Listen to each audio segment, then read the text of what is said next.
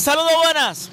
En esta ocasión nos encontramos frente al Parque de las Flores de esta ciudad de La Vega y esta tienda de celulares que estamos observando aquí fue penetrada el pasado fin de semana.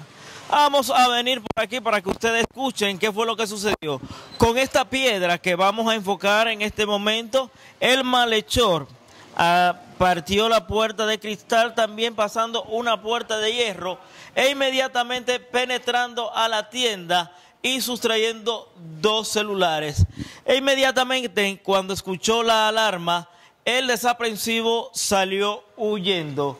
Vamos a escuchar a uno de los empleados, que no le vamos a, enfocar la cara, para que ella nos narre qué fue lo que sucedió. ¿Lo puede decir? Bueno, eso fue el sábado en la noche, eso de las once y media más o menos. El individuo dio varias vueltas cuando él veía que un vehículo venía, o sea, cuando veía la luz, él lo que hacía era que disimulaba, se sentaba ahí en la acera o cruzaba el parque. Ya llegó un momento que él sí pudo eh, darle a la puerta con la piedra, la rompió y por ahí penetró. Él se llegó a coger dos teléfonos que estaban, bueno, vamos a decir que estaban fácil. Cuando él escuchó la alarma, inmediatamente salió. Este, ¿Ustedes entonces lo conocían? ¿Lo habían visto varias veces por aquí? Él sí frecuentaba el parque. Sí, él muchas veces frecuentaba el parque.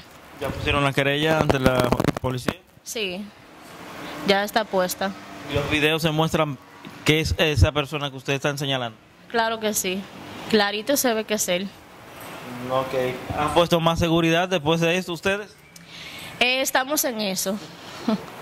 Ok. ¿Le habían eh, robado anteriormente a ustedes? No. ¿Esta es la primera La primera vez. ¿Cuándo sucedió esto? El sábado a las once y media. Muchas gracias.